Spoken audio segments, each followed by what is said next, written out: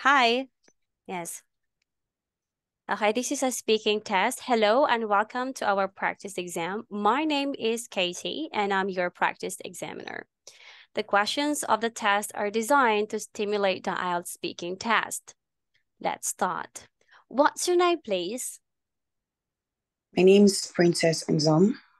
Thanks, Princess. And at the beginning of the test, you will be required to provide some ID. But at the moment, since this is only a practice test, we don't need to do that today. I want to begin by talking about you. Do you live in an urban or rural town?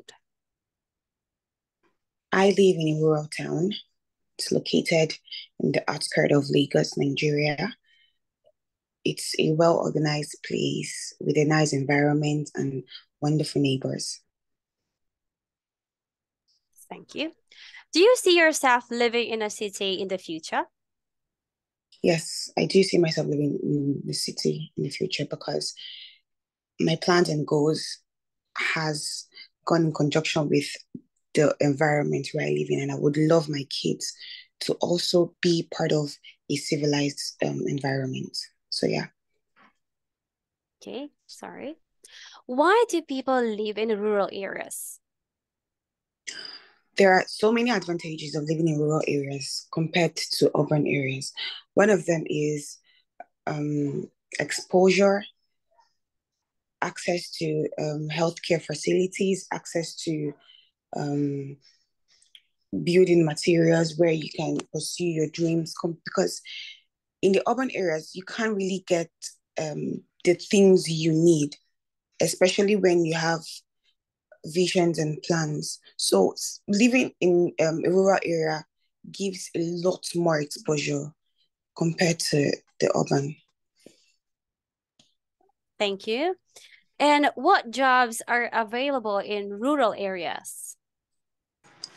There are a lot of jobs available in rural areas, like um, good and equipped hospitals. For, um, depends on what you want to do. But for example, there are also um, oil companies, better um, supermarkets where you can go in and get everything you want. Um, for people that are into teaching jobs, they can get um, a good and well paid jobs in a good schools and a whole lot of them. There are beautiful restaurants with great ambience. So yeah, there are a lot of jobs mm-hmm. you can get in the Okay, let's move on to the topic of seaside. Do you often go to the seaside? Yes, I do often go to the seaside. Whenever during my leisure times and whenever I want to cool off from work, I do go to the seaside. Okay. Why do people like spending time by the beach? Well, beaches gives um, a good sense of warmth. Um, it has beautiful views. There are fresh airs.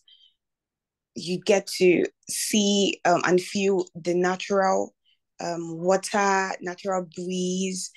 It's just beautiful. It's I don't know. It's personally in, going to the beach makes me happy, and I really enjoy going to the beach. Now I want to talk about dentist. Do you mind visiting the dentist? No, I do not mind visiting the dentist. It is required of us at least once in three months to visit the dentist to defloss and check out um, our, our gums and generally it's good for the oral health. Hmm. Well, where are some people nervous about the dentist? I think um, one of the reasons why people would be nervous going to the dentist would be the outcome.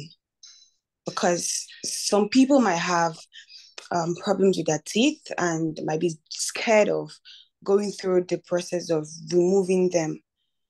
So, and also people that don't keep um, good oral hygiene. So, yeah, they might be a little bit nervous going to the dentist. Okay, thank you. Very good. Is visiting the dentist expensive in your country? Yes, it is.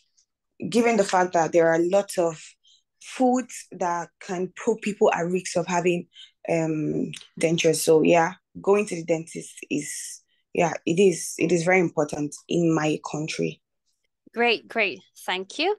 Now I'm gonna give you the topic. This topic long lasts for about one to two minutes based of your speaking. You have one minute to prepare and one to two minutes to answer. Okay. You don't have to worry if I stop you, and I will ask you the same questions into discussion part number three. Your one minute start now. A difficult choice I had to make was where I chose to study.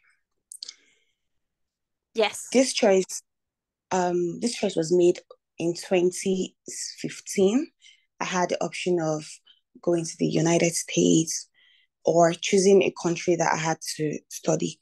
Now, um, when I when my mom started processing the application, I didn't have patience. I was young and naive. I didn't have enough patience to wait for January session. I wanted to go in to start school in September. So my mom had to tell me to okay, if you have any country you want to study, you can just tell me. And I chose to go to Cameroon, which was one of the worst decisions I, I ever made. It was tough because I was desperate to start um start um my college. But then because seeing my friends go to school every day was exhausting and humiliating, knowing that I've tried, I passed all my exams, I just wasn't given admission. So I just wanted to go to school. But then it was a really tough decision and I had to make one. I was with my friend at the time when I made the decision. I could remember I was in the room when I was called to decide where I wanted to study. And it was really, really tough, but I still had to make that decision. It was this choice was difficult because there are there were so many options. Thinking about it right now, I can remember that there are I can I can remember vividly that there there are there are other better and more um good options that I would have chosen. But me deciding to go there was out of desperation. And if I could go back in time, I would choose, I would make a better choice and a better decision. So yeah, that's that was a really, really difficult choice that I had to make growing up. Thank you. It was really great. Now let's talk about making decision. What type of difficult decision do governments have to make? okay, um, one of the difficult decisions governments have to make is choosing between um, things to do. For example, you have um, healthcare facilities, increasing um, the jobs, increasing the salaries of healthcare personnel, and building roads. Mm-hmm. Now, both of them are important because bad roads lead to road traffic accidents. Healthcare facility, healthcare personnel need an increase to work because if you're not getting paid enough, you won't enjoy working. So now imagine giving them these two options to choose from.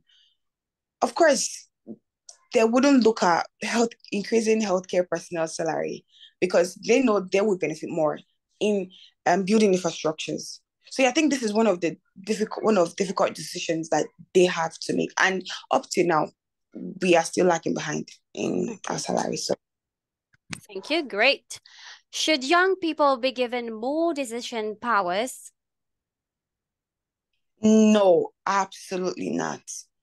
Young people shouldn't be giving more mm-hmm. because me using myself as a um for instance, if I I looking back, I wished my my parents made the decision for me because I regret it every day. Giving young people um, choices and giving them the right to make decisions will most definitely ruin them uh, on the long run because at that time they, they're not exposed. They don't really know the right from the wrong. They don't know the benefits. They will just choose based on what they want at that time. They won't really think about the effect it has on their future. So I don't think it's right to give kids, to give young people um, the right to make decisions. Okay, thank you. And uh, why are elections important? Oh, elections are very important in society because it gives the com- the people in that community the chance to make a decision. Being um not being democratic would suppress people's ideas and visions and um, plans. Imagine deciding, okay, um the governor of a state has to be family wise and then you can't change it. You can't you can't voice out.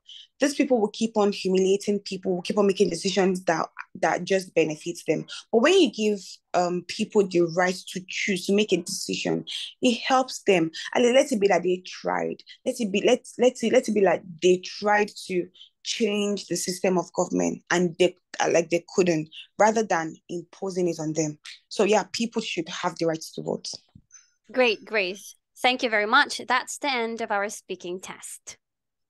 Okay, so thank you for participating in this. I will stop